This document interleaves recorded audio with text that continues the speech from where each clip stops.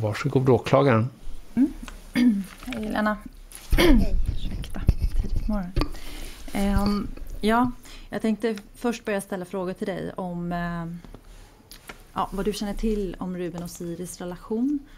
Uh, och sen går jag vidare in på uh, det du känner till om vad som händer den här aktuella kvällen. Mm. Och sen kommer det lite följdfrågor också. Uh, och um, jag tänkte så här.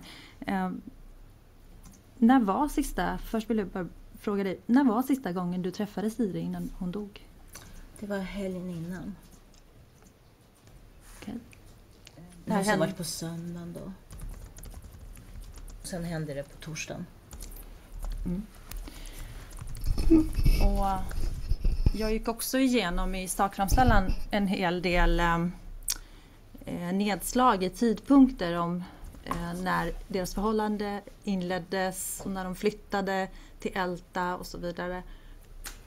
Stämmer de tidpunkterna på ett ungefär? Ja, jag tycker de stämmer. Och var, bara för att tydliggöra, var bodde Siri innan hon flyttade till Älta? Då bodde hon hemma hos oss eh, på Ekstegen i Solna. Och hon, är, hon har varit skriven där hela tiden. Eh, och vad, kan du berätta om vad du känner till kring eh, Ruben och eh, Siris förhållande? Hur var det? Berätta mig hur, när de träffades och hur det var. Ja, alltså för Siri, eller för oss som föräldrar så var det ju första pojkvännen som Siri på riktigt presenterade. Och, um, vi, var, vi var ju positiva och öppenhjärtade och hälsade Ruben hjärtligt välkommen till familjen. Så som Siris pojkvän. Mm. Och, och hon verkade uppriktigt väldigt förtjust och förälskad. Um, och Ruben fick vi ju inte så mycket bilder av i början mer än att det verkar bra och jag någon gång nämnde att jag tyckte att han var en svärmors dröm. Men eh, det eh, kan, jag inte, kan jag ju inte säga längre utan snarare från helvetet. Och hur mådde Siri när hon först började umgås med Ruben i det romantiska förhållandet? Hur mådde hon då? Hon mådde bra och vi var ju... Var ju hon, en, hon mådde bra och hon ändrade sig. Och som mamma blir man ju ändå glad när det går åt ett håll när det inte är eh, så mycket hud som visas och liksom väldigt eh, tillknäppt klädsel fick hon, valde hon då efter de hade varit tillsammans ett tag. Och hon hade blonderat sig och hade lösnaglar och sådär. Allt det där lugnade ner sig. Hon tog successivt tillbaka sin gamla hårfärg. Du, du sa att hon ändrade sig. På vilket sätt ändrade hon sig? Alltså hon blev ju mer kanske vad en mamma önskar sig. Så, alltså att man är ju inte så glad att ens dotter visar för mycket så. Och, och nu vart det ju bra för att eh, det var ju mer som man tänker sig. Men det var ju inte riktigt hon. Samtidigt. Det var väldigt konstigt hur det ändrade sig så snabbt. Och varför ändrade det sig? För att Ruben ville inte, sa hon, hon sa att Ruben ville inte att hon, hon skulle klä sig på, ett visst, på det sättet hon klädde sig innan.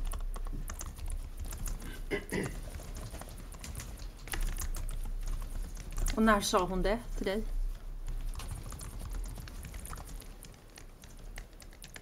Ja, någon bit in när jag noterade och påpekade att åh, vad det här var ju lite annorlunda.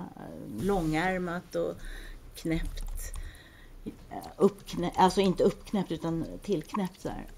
Ja, nej men Ruben tycker det är finare så här. Och hon rökte inte heller, för innan rökte hon ganska mycket. Och det var vi inte heller så, så nöjda med. Så att det var skönt att hon slutade med den biten. sen vart det ju lite automatiskt då när han blev gravid. Så mm. Och berätta, när hon blev gravid. Eh, vad, vet, vad känner du till om deras planer för graviditeten eller hennes planer? Vad vet du om det? Nej, men hennes planer var ju att skaffa eget boende, bli, eh, få flytta hemifrån och bilda en egen familj med Ruben och Noel. Vems idé var det att eh, bli med barn? Vet du det?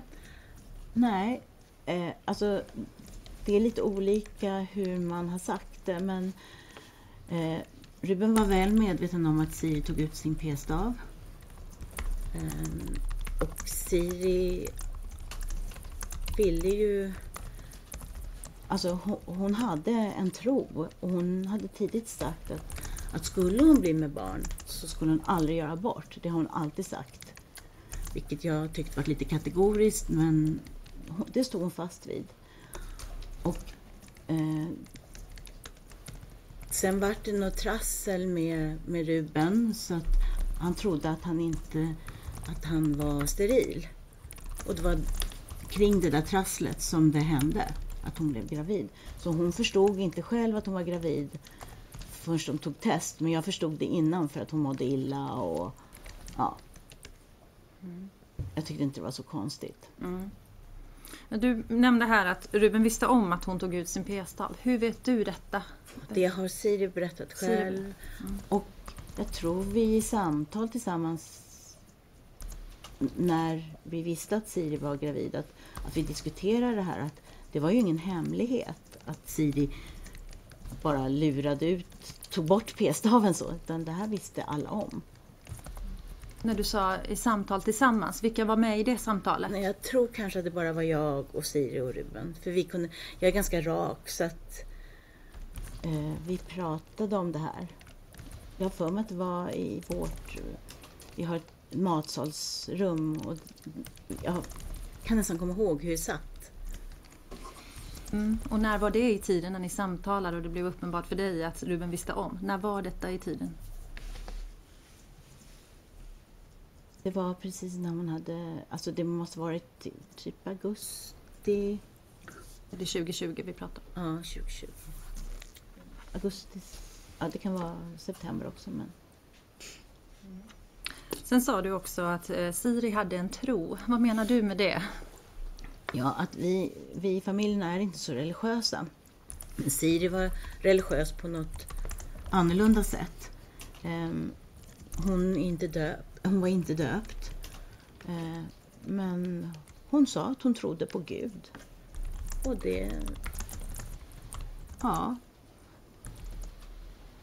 Ehm, jag tror också att hon trodde på Gud på sitt sätt. Och i vilket sammanhang var det som hon berättade om att hon tror på Gud? Hon hade tatuerat ett kors på ena handen. Ehm, mellan tummen och pekfingermuskeln. Ehm, så att, och det var när jag såg den här tatueringen så pratade vi om det. Och sen har vi pratat om det vid andra tillfällen också. Men, vi, eftersom vi andra inte tror på Gud så är det liksom lite svårt att, att förstå det. Ja, okej. Eh, och hur blev det sen mellan Ruben och Siri? eh, Efter att de hade fått veta att Siri var gravid. Hur blev det för dem? Nej, det blev ju riktigt illa. Alltså, Ruben ville ju verkligen inte till att börja med och försökte ju påverka Siri att, göra, att ta abort. Men Siri var, ganska, var väldigt orolig eftersom det här, och det visste jag sedan gammalt, att hon skulle aldrig göra en abort. Och jag tyckte det var konstigt att hon inte hade förstått det. Så det finns ju, vi är ju i modern tid, det finns ju sätt att hindra att bli, få graviditeter. Så jag kunde inte förstå att han inte förstod det. Så att jag trodde ändå att han var med på det på något sätt. På vilket sätt försökte han få henne att göra abort? Vill du berätta om ett exempel eller något? Ja, dels att han nötte ut henne med skrik och, och hetsiga samtal och alla möjliga saker. Men sen så körde han ju in eh, så att alltså han bad sin mamma förmodligen för att Katarina pratade med Siri och Siri berättade att Katarina hade pratat med henne men att hon var, stod fast. Sen ringde Katarina mig och bad att jag skulle prata med Siri och jag berättade att jag aldrig kunnat påverka Siri när hon har bestämt sig för något. Men jag sa att jag kunde ta ett samtal. Och jag tog ett samtal och eh, nej, det var orubbligt.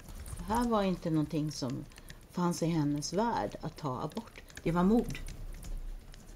Så sa hon till mig. Du sa att Ruben nötte ut Siri med skrik och hetsiga samtal. Hur, hur, har du hört detta själv? Har du hört hetsiga samtal och skrik från Rubens sida? Det, nej, alltså det är ju som Siri har berättat och sen framförallt när hon har sovit över hos oss så har hon ju inte sovit på nätterna därför att Ruben och hon har grälat över mobilerna och Snapchat och ja, alla möjliga sätt de, de kommunicerar på. Men, och också att jag sa, sa till henne, ta bort mobilen, ta den inte till sovrummet. Då blir Ruben galen på mig och det går inte. Då blir det ännu värre för mig om jag inte svarar på en gång. Hur skulle det ha blivit värre? Sa Siri någonting om det? Det var väl att hon ville undvika de här bråken och skriket och gapet. Framförallt så berättar hon att Ruben skriker. Han går upp tätt kring, vid örat och skriker. Eh,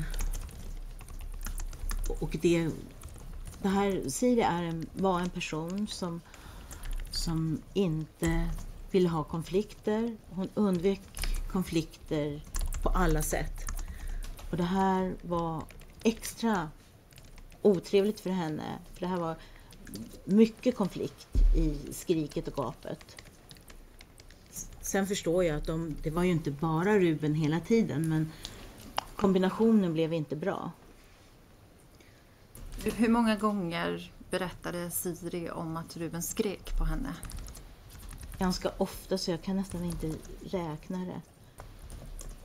Det var alla möjliga saker och till slut så sa hon till mig att jag fick inte säga vissa saker när Ruben var med därför att bland annat eh, så har hon en barndomskompis som heter Eugen och han eh, har varit med i familjen eller ja, kompisgänget kring Siri. Det fanns ju andra kompisar också. Men, men honom fick jag inte prata om. Och det var i samband med när hon fyllde år så, så, så vart jag glad att Eugen skulle komma. Och då sa hon till mig, du får inte prata med Eugen när Ruben är med. För då, då blir han arg på mig när, när, när, vi inte med, alltså när de är för sig själva. Vilket födels, vilken födelsedag är det? Det måste varit när hon fyllde 20. Mm. Och vilket datum var det? 11 mars 1921 blir ju det. Nej. Då var det kanske när hon fyllde 20. 19. Nej, 19. Förlåt. 19. När hon fyllde 19? Ja, det måste det ha varit. Det, det förra året alltså? Ja. Mm. Alltså, hon var inte gravid då. Mm. Äh, som, nej, det var hon inte. Det här med att... Eh, förstod jag det rätt? Att, eh, för, förstod jag det rätt nu? Jag måste bara ställa en kontrollfråga. Eh, Siri sa till dig att du inte skulle prata om Eugen. Ja. Fast Eller här, prata med bara... honom. Om, om Eugen när Ruben var med. Om. Mm.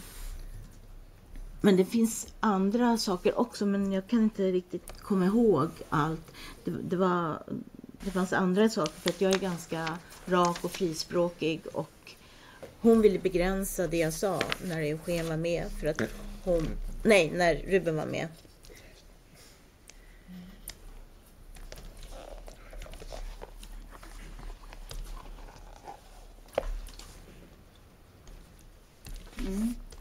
Ställde ju en fråga till dig eh, om eh, huruvida du har hört honom bråka med Siri, eller skrika på Siri. Och då svarade du att det här var någonting som Siri berättade för dig och att du själv inte har hört. Stämmer det fortfarande? Förstod jag det rätt? Ja, alltså jag...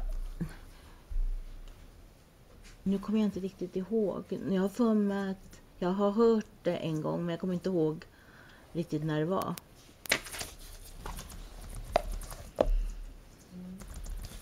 Du har hört det en gång, men du kommer inte ihåg när det var? Ja, nej. Det går lite ihop allting, tyvärr. Mm. Okay. Mm. Men jag, jag, vet att när vi, det var jag som körde hem dem från BB. Mm. Och då var de, ingen av dem var på topp och verkligen inte Ruben. Och lilla Noel såg jag ju för första gången. Men eh, de var, de var väldigt osams kändes det som. Och jag, där, jag har aldrig sett Ruben på så dåligt humör. Mm. Eh, men då körde jag hem honom först till hans föräldrar och sen körde Siri, jag och Noel hem till Solna. Mm.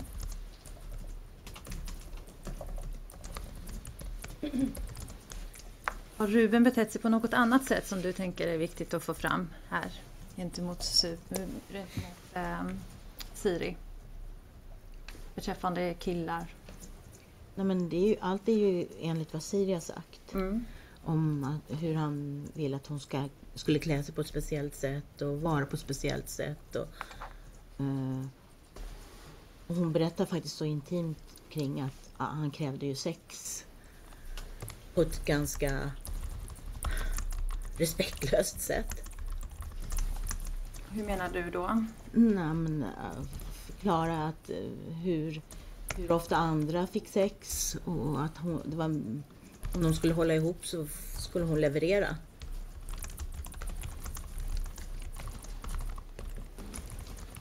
Och vilk, när är det i tiden som de här kraven ställs mot Siri? Det här är innan graviditeten. Och jag tog det med en nypa salt då för jag tänker att om det här är första pojkvännen. Första förhållandet är väldigt stormigt, i alla fall som jag själv har upplevt det. Och jag tog det inte så allvarligt då. Mm. Utan ja, ja, men så, så, så kan det ju vara, sa jag. Mm. Det är inte så mycket att bry sig om. Men så här i efterhand så så vet jag att det var något hon berättade. Mm. Vet du någonting om huruvida Ruben har varit inne i uh, Siris telefon? Ja, det har hon. Hon, hon vågade inte. Eh, hon sa att när hon gick och duschade så, hade, så märkte hon att han hade varit inne i hennes telefon och raderat, tagit bort hennes killkompisar. Och även har jag hört från hennes killkompisar hur, hur det plötsligt bara blev tyst och de hade ingen, fick ingen kontakt utan förklaring. När skulle det ha skett? Att hon har duschat och Ruben varit inne i hennes telefon och arbetat där? Kanske nå, på våren där. Um, det måste varit på våren då när hon hade fyllt 19. Undrar om det inte var i samband med det.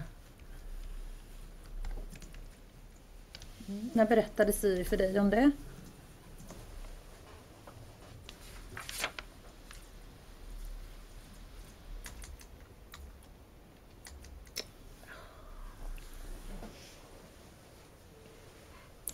Det känns som att det var före hon blev gravid. Mm. Men, ja, att, eh, men när berättade hon för dig om händelsen? Um, jag kan inte säga exakt när, men det var innan graviditeten. Som hon berättade för Som dig? Hon berättade.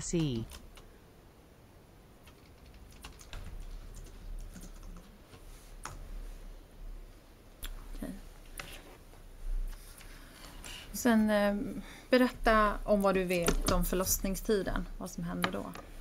Att det var den värsta händelsen i hennes liv.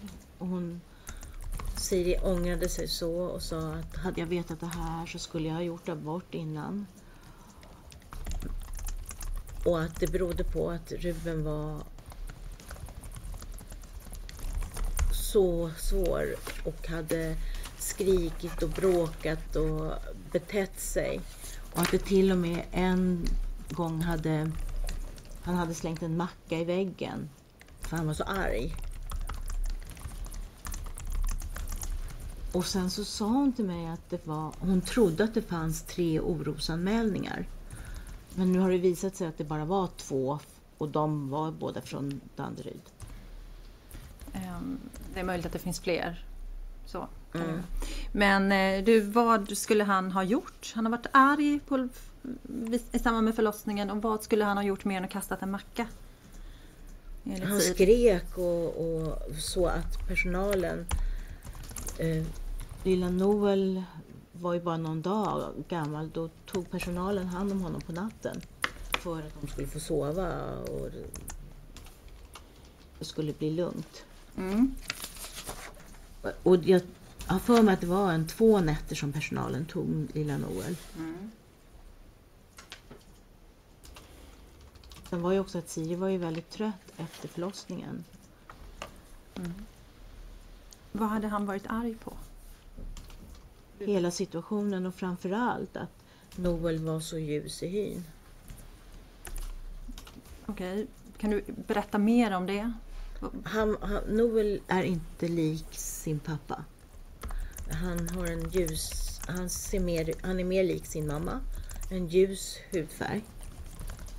Och, och det här var, var inte uppskattat från Rubens sida.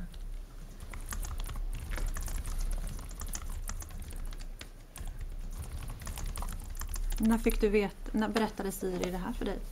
Eh, direkt när vi hade lämnat Ruben. Du berättade att, äh, ju, att du hämtade dem från Danderyds, Danderyds sjukhus. sjukhus ja. Okay. så sa du att ni lämnade Ruben någonstans. Var hos, lämnade hans, honom? hos hans föräldrar. Var det direkt från förlossningen? Direkt från förlossningen Och, körde vi till Gröndal där hans föräldrar bor. Och var tog Siri och bebisen vägen? De följde med mig hem till Ekstigen i Solna. Varför följde inte Ruben med sitt barn och sambo? Vet du det?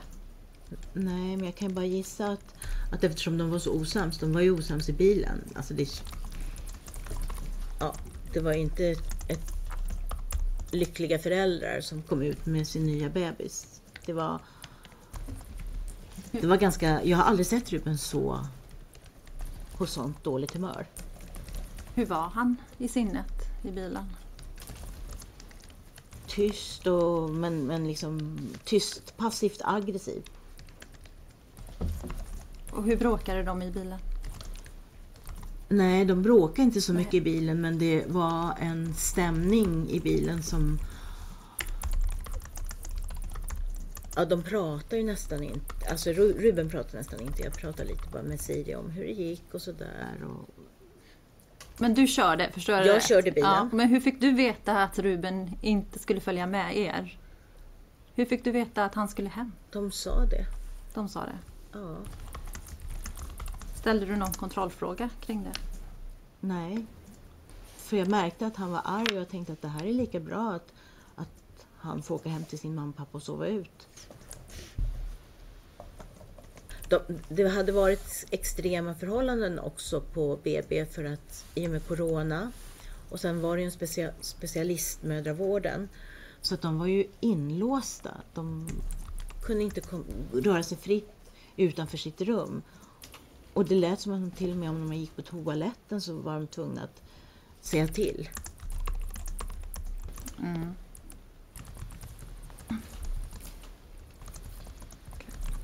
Hur var det? Och så förstår jag det rätt att Siri följde med er hem.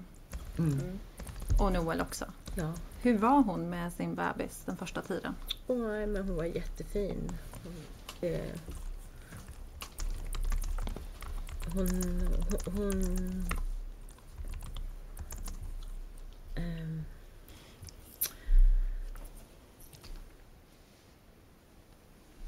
Alltså det var inget konstigt. En, en ung mamma. Jag tyckte, jag tyckte hon var, var lugnare än vad jag var när jag tog hem Siri.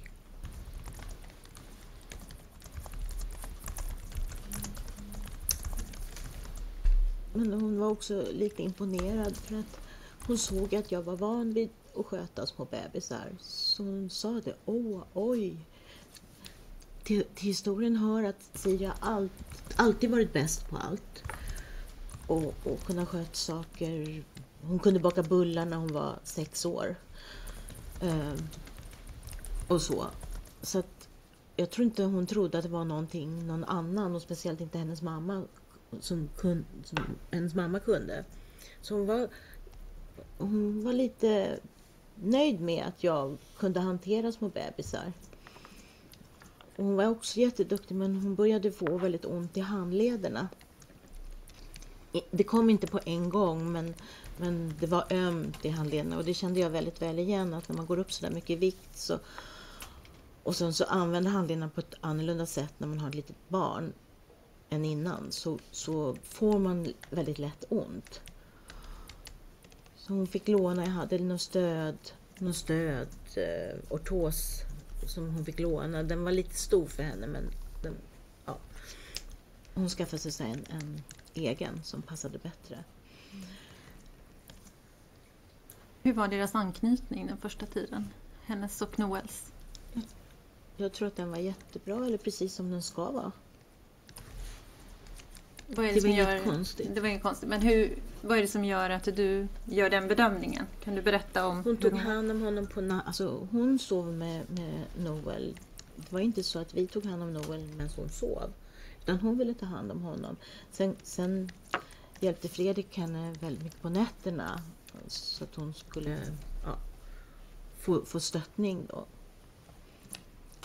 Men eh, Hur länge var hon hos er innan hon åkte hem till Älta? jag minns inte riktigt. Jag, jag tror kanske... Kan det varit? Att hon åkte hem till Älta kanske efter några dagar. Att det bara var två nätter eller så. Två, tre nätter. Och hur var hennes kontakt med Noel under den här tiden som hon var hos er? Förlåt, med Ruben. Med Ruben? Ja. Ehm, nej, men det var väl bara via mobil som de kommunicerade. Ehm, jag vet inte så mycket om, om hon blev störd på nätterna som hon brukade bli innan. Utan, utan jag tror att men de hade nog bara normal kontakt, gissar jag. Men jag vet inte. Men var han hemma hos er någonting under den här perioden? Direkt efter BB? Inte vad jag minns. Och hur kom det sig att hon till slut åkte till Älta med lilla Noel? Dels så, så sa vi att, att det var det bästa men också att hon, hon, först, hon ville ju det också. Men, men efter, efter att hon hade varit i Älta ett tag så sa hon till mig att det var den värsta tiden det här med BB och att hade hon vetat att Ruben hade betett sig på det här sättet så skulle hon inte ha fortsatt vara tillsammans. Hon skulle inte ha fortsatt vara gravid. Utan hon skulle hon ha gjort slut och dragit. Och det här var efter att hon hade kommit tillbaka till Älta? Ja. Okej. Och vad hade hänt då? Det har varit... Hon sa till mig, Noel har inte när Noel har varit med mig och Ruben så har han inte haft en lugn stund. Det har skrikits och gapats hela tiden. Vem är det som har skrikit och gapat? Eh, primärt Ruben, men hon har väl försökt att se, prata emot också så att det har väl... Eh, eller... Siri sa ju att det var Ruben. Okej. Ja, det är viktigt att du skiljer på vem som säger vad Crime.se. och, och vad du tror. Ja, jag förstår. Så Siri sa till dig att det är Ruben som skriker när Ja. de befinner sig i Älta. Ja. Och Noel är då Noel. nyfödd. nyfödd och inte en stund tillsammans med sina föräldrar så har det varit lugnt, sa hon. Varför, varför inte då? För att Ru- Ruben har skrikit och gapat och det har varit bråk, sa hon. Och vad handlade bråken om då? Att Siri inte gav tillräckligt mycket uppmärksamhet till Ruben. Att Ruben inte gick före sitt eget barn utan ah, ah. Och han ville att Siri skulle priorite- prioritera honom framför barnet. På vilket sätt då? Eh, kärleksmässigt och uppmärksamhetsmässigt. Vad sa Siri till dig om det? Att, att Ruben eh, krävde att hon skulle skapa tid för bara de två. Så att när Noel var kanske, ja det var helgen innan det hände, så eh, passade Fredrik och jag Noel en förmiddag eftermiddag och de var på ett restaurangbesök och det var då den här bilden togs som visades i början utav rättegången. Eh, och när Siri kom hem så sa hon att det var den bästa dagen sedan Noel föddes. Mm. Och då hade de haft en normal relation till varandra under den här eh, lunchen. Som de... Och då var ju inte Noel med. Och det var ju det som var det som var svårt för Ruben. När Noel var med så var, hela hennes fokus på Noel. Såklart. Sen vet jag att jag pratade med Ruben också. Mm. Och då tyckte han inte om att Katarina, hans mamma, ringde honom och alltid frågade hur, hur mår Noel? Och frågade inte hur Ruben mådde i första hand. Och Vad sa, vad sa Ruben om det? Nej, det- det var, det var inte bra. Han tyckte inte om det. Och varför inte? För att han, hans mamma brydde sig inte om honom i första rummet utan han, hon brydde sig bara om bebisen.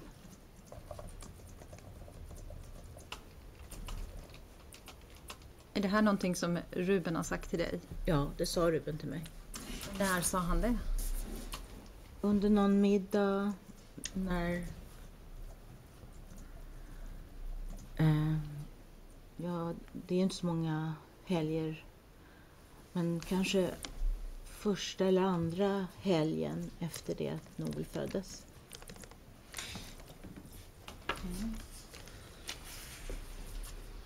Ehm, du var ju med när vi gick igenom en hel del journalanteckningar. Och där har vården i alla fall noterat att eh, Siri var rädd för Ruben. Vad vet du om hennes rädsla? Känner du till det? Ja, tyvärr så vet jag det. Vid ett tillfälle när Noel var född så sa hon till mig Jag är bara så rädd att Ruben kommer ha ihjäl mig. Och för mig så var det så främmande och jag tyckte det var överdrivet. Och jag tänkte att det finns inte på kartan. Nej, det får vi verkligen hoppas att han inte gör, sa jag sådär lite lättsamt. Det fanns inte på kartan. Det fanns ingenstans som jag kunde tänka mig att det var så det skulle kunna bli. Aldrig. Varför tror du att hon använde de orden med att hon skulle dö motsvarande? Och att För att det skulle- kändes så. Det kändes så jobbigt med hela situationen. Och vad Eh. tänker du om det nu? Ja, nu så tänker jag att, att det var illa att jag inte förstod då att det var så här. Jag tänkte att hon överdrev lite för det kunde, det kunde vara så ibland. Men det har ju varit saker som har hänt som gjort att jag, jag, jag är ganska lugn när saker händer. Och så även den här kvällen. Så håller jag mig ganska lugn för jag vill verkligen se fakta innan jag vet, vet vad som... Jag tänker inte reagera förrän jag vet fakta. Och lite var det väl så här också, att jag reagerade inte för att jag tyckte inte med, med den information jag hade att det var adekvat. Att Ruben skulle ha ihjäl Siri. Det... Ja. Så var det.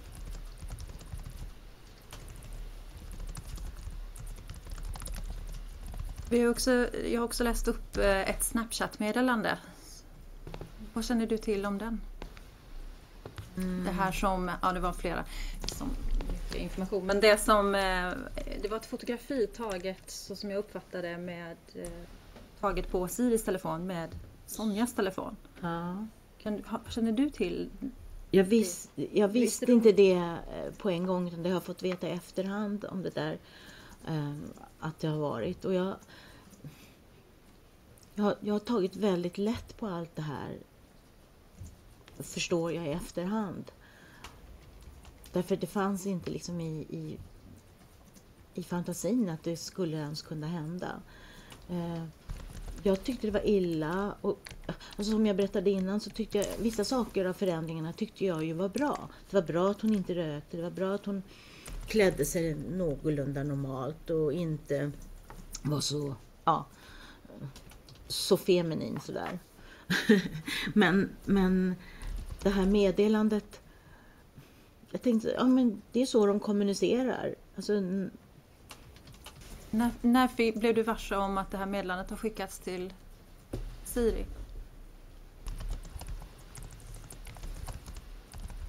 Väldigt sent.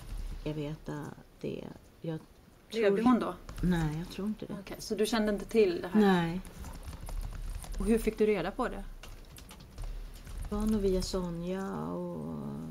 Eh, alltså, ja, det var nog via Sonja som jag fick veta att hon hade det här med bilden.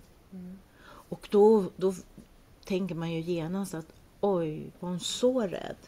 För då, då allt som hon har sagt så här lite pyst lite här och där, det samlades ihop och så bara, men oj. Siri var väldigt duktig på att hålla hålla en sfär så att man inte skulle förstå. Det skulle se bra ut utåt. Mm. Och ja, jag, jag hade tyvärr köpt det.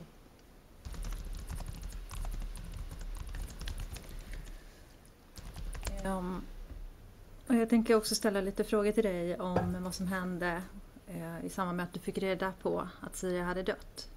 Mm. Det går bra. Det går bra. Mm. Kan vi fortsätta? Ja. Mm. Ja, men kan du berätta vad som hände den här dagen, den 15? Den 15 hade, så... hade du någon kontakt med Siri innan?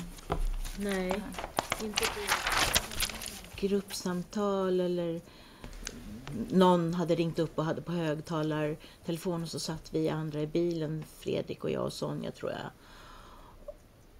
Eh, jag tror Sonja var med. Eh, och då pratade vi om att det här faderskapsbeviset och mm, det är två saker man skriver på när man inte är gift. Och att det hade ju inte Ruben skrivit under och då sa hon att hon trodde att det skulle vara klart men det ska ju bevittnas. Ja, sa jag, men det är ingen fara. Eh, på lördag, då, då kan vi bjuda över våra grannvänner och då kan ju de bevittna det så skick, kan du skicka in det sen. Det är ju jättebra. Bra. Och tänkte att vad roligt att han vill ta ansvar och ja, fixa det här. Men det var nog det sista vi pratade om. När du säger lördag, syftar du på lördagen efter? Efter. Efter morddagen? Ja, så det här var kanske onsdagen eller tisdagen eller något sånt. Mm. Mm. Och sen eh, Crime.se torsdagen så går, tränar vi och så kommer vi hem. Vi gjorde lite ärenden innan och köpte en sak i butik och sen så kom vi hem innan åtta och allt verkar... Och vid åtta så brukar vi se på Efterlyst. Och det hade nog börjat precis. Då, då eh, ringer min mobil och det är Oves nummer. Och då har vi tidigare haft lite kommunikation, jag och Rubens pappa Ove, kring kontraktet, hyreskontraktet. Så jag tänkte att det kanske var något sånt. Men då var det Katarina. Och hon lät väldigt upprörd. Och så sa hon att eh, polis och ambulans, eller ambulans och polis är på väg. Eh, Siri har skurit sig i ansiktet. Ruben har inte gjort något, sa hon väldigt snabbt. Siri har gått in eh, i sovrummet och skurit sig i ansiktet.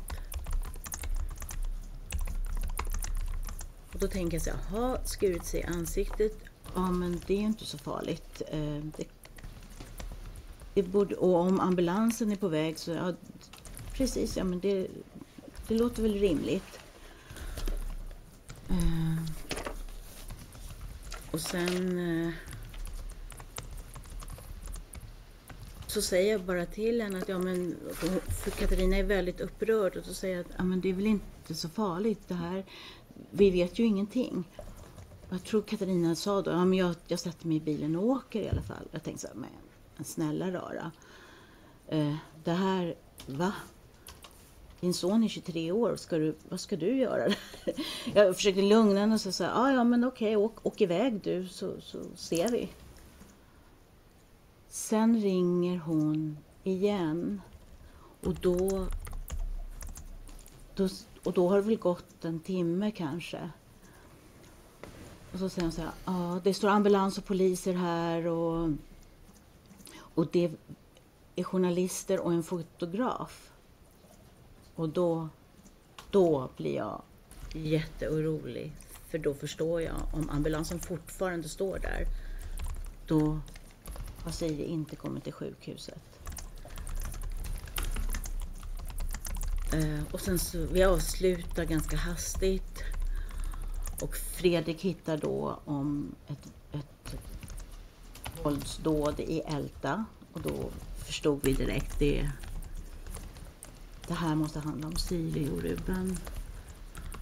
Eh, och sen går det inte så lång tid, kanske en halvtimme eller någonting så, så kommer en privatbil upp på vår... Vi bor vid en vändplan, det är väldigt ensligt, det kommer aldrig några bilar där annars. Och då sa Fredrik, ja ah, nu kommer polisen. Så då fick vi budet.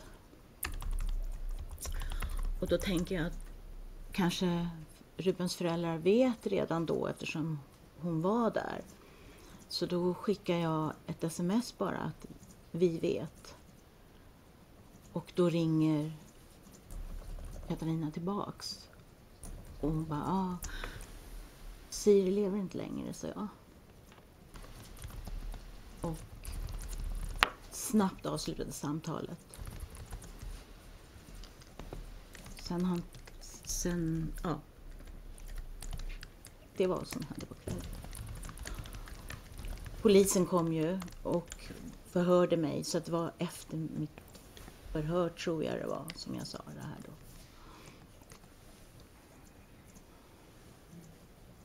Det första samtalet som Katarina, som är Rubens mamma för övrigt, eh, ringer dig Um, då, du nämnde nämligen att uh, du fick höra av henne Siri har skurit sig. Ruben har inte gjort något. Vad sa hon mer kring det?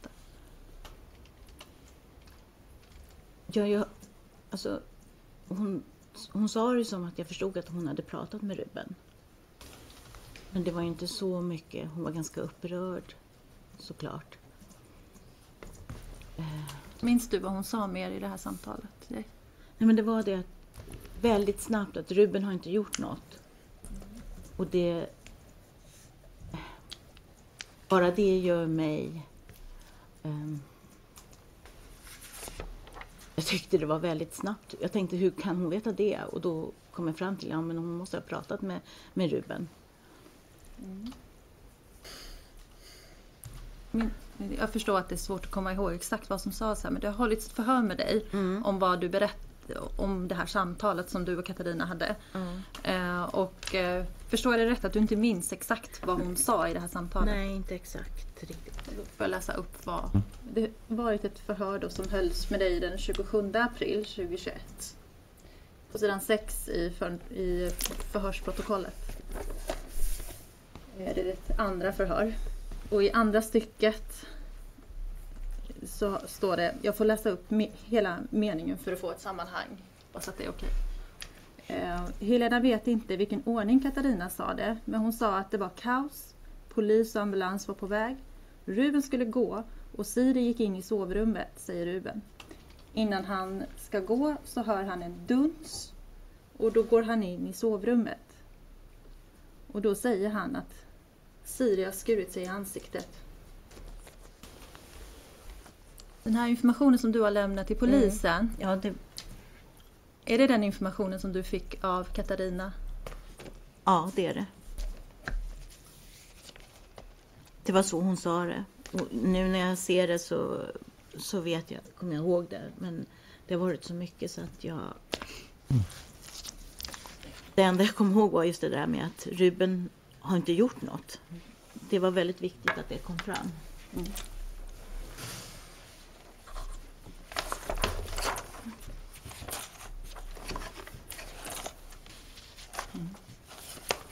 Jag stannar där, jag har inga fler frågor. Mm. Hur känner du, vore det lämpligt med en paus? Eller? Vi kanske har hållit på i en och en halv timme så det kanske ändå är lämpligt att vi tar, vi tar, fem, vi tar 15 minuters paus.